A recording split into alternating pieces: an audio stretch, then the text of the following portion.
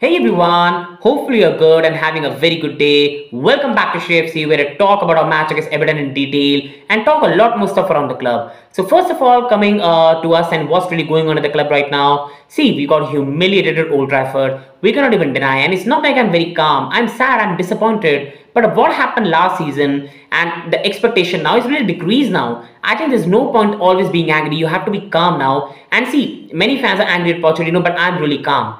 And that's not being me being stubborn because I wanted Pochettino. I know the struggles are deep, but I'm not even saying that your opinion is wrong. I'm right. No.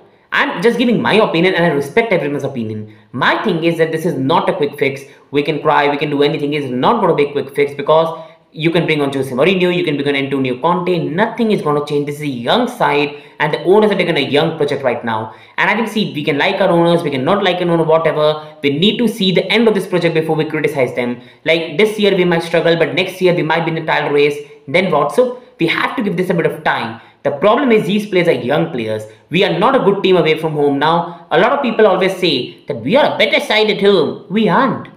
We aren't. We are better side away, sorry. No, we are not a better side away. We are a better side at home. Our best performances have come at Stamford Bridge. We have been bullied away by Newcastle, bullied away by Manchester United. We were bullied by Burnley in the first half. We weren't good against Fulham in the second half. Our away performances have not really been good. We've been bullied at most places. Whereas at home, at home, comfort with the fans, we've been on the front foot. We just haven't taken our chances. The problem is we had a tough cold night in the St. James Park, tough cold night in Manchester, and that's where you need to be mentally strong. You need to be tough. You need to be physical. You need to be pacey. You need to be powerful in order to take on the players, be on their faces.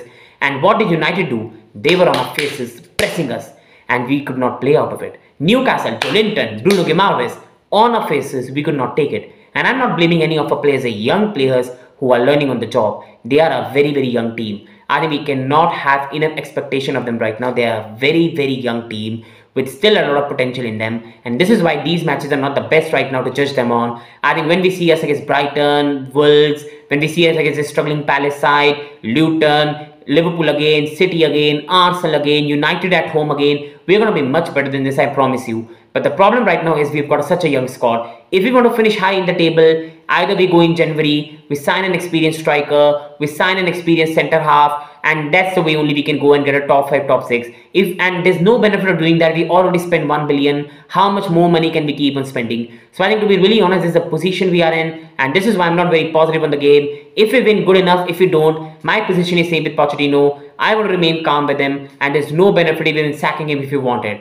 Coming out of opposition now, Everton, and they're again having a very, very good season. They were favourites for everyone to go down. And even after 10 point deduction, they're out of relegation zone. They're 9 points behind us. They beat us, they are 6 points behind us. And they could have been above us, above us if not for the deduction.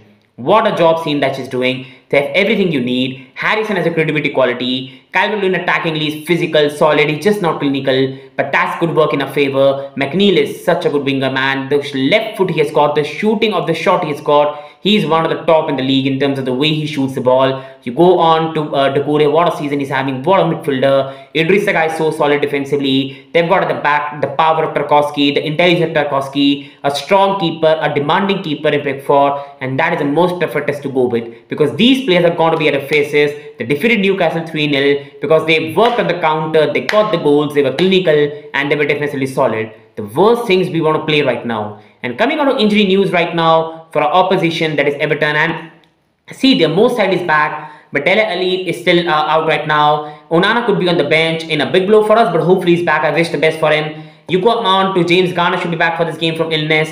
Pickford should play in this game, and André Gomes is a doubt, so he might not even start. And even if he's on the bench, he's not going to be in the starting 11. So their likely 11 is going to be Pickford, Seamus Coleman, Tarkowski, Branthwaite, Mykolenko, Ashley Young, Doucouré, Gueye, Gueye, McNeil, and then Harrison, and then Calvert-Lewin. Now coming on to us, and in the end of the video, I'll discuss on the way we can really beat them. Coming on to us, and the injury news are the same, so it's not going to change too much. It's the same injury news that we've been seeing for last some weeks. So coming on to the lineup that I expect the manager to say, because I can say my lineup because I will love to go with the back three, but the manager just doesn't like Maatsen, so there's no point talking about it. So what the manager will go with and where I will love him to be a bit more strong is bring James back in the team and he's fit for this game now. Keeper is going to be Sanchez. but you need to play Badiashile now. You made a mistake dropping him for Disasi in the last game, rectify, bring him back in the game with Thiago Silva, and then play Colwill at the left. See, we have only two options now. Manager doesn't prefer Maatsen, is Colwill and Cucurella. And I think Colwill defensively is still